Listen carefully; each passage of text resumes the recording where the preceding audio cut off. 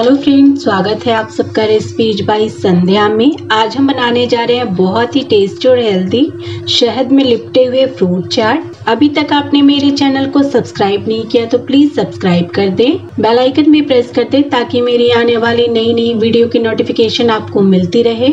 Video को पूरा देखे, वीडियो अच्छी लगे तो लाइक, शेयर और कमेंट करना बिल्कुल भी ना भूले। तो स्टार्ट करते हम आज की अपनी रेसिपी। एक पैन ले लिया है, गैस अभी मैंने ऑन नहीं किया है। वन फोर्थ कप शहद वन फोर्थ कप पानी, गैस ऑन करेंगे। शहद और पानी को अच्छे से मिक्स कर लेंगे, एक उबाल आने देंगे। शहद और पानी में उबाल आने लग गया है टू पिंच दालचीनी पाउडर मिक्स कर लेंगे। शहद और पानी वाले मिश्रण को उतार के एक साइड में रख लेंगे, ठंडा होने देंगे। पैन रखेंगे। पैन को गर्म होने देंगे। पैन गर्म हो चुका है। दो से तीन बड़े चम्मच ऑयल डाल लेंगे। ऑयल को अच्छे से गर्म होने देंगे। यहाँ पे मैंने एक पैकेट मैगी लिया है। मैगी मसाला का पाउच हटा देंगे। इसमें यूज़ नहीं है इसका। मैगी को छोटे छोटे टुकड़ों में तोड़ लेंगे। ऑयल हमारा गर्म हो चुका है। मैगी डाल लेंगे। गैस को मीडियम पे कर लेंगे। मैगी को ब्राउन होने तक भून लेंगे।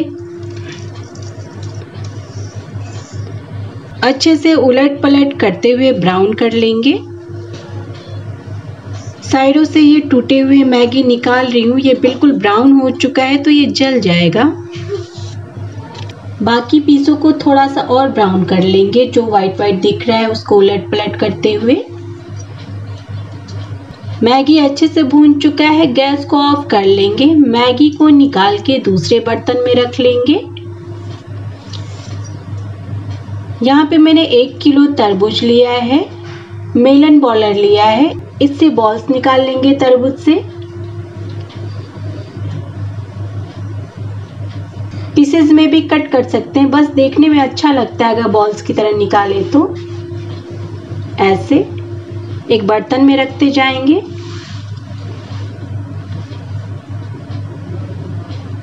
सारे तरबूज से ऐसे बॉल्स निकाल लेंगे। तरबूज से मैंने बॉल्स निकाल लिया है। ये जो तरबूज का देख रहे हैं पीस अंदर से साफ़ कर लेंगे। ये मैं फ्रूट चाट सर्व करने के लिए टोकरी तैयार कर रही हूँ। आप प्लेट में भी सर्व कर सकते हैं। तरबूज के छिलके की टोकरी बनकर तैयार है।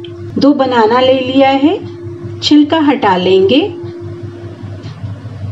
सारे फ्रूट्स एक ही बाउल में रखते जाएँगे।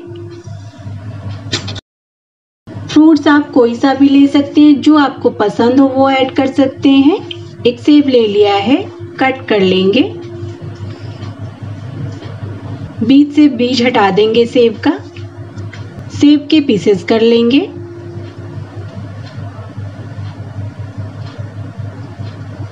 बाउल में डाल लेंगे। एक खरबूजा ले लिया है हाफ़ यूज़ करूँगी इसमें। खरबूजे से भी बॉल्स निकाल सकते हैं या हम पीसेस भी कट कर सकते हैं, जैसा पसंद आए।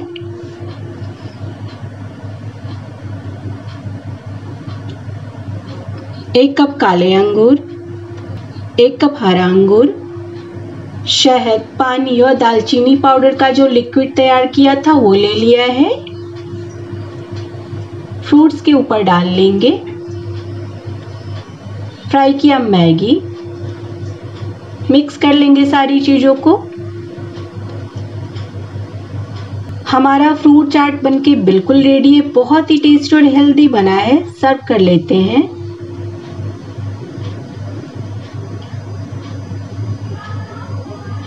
ऊपर से एक चम्मच शहद डाल लेंगे।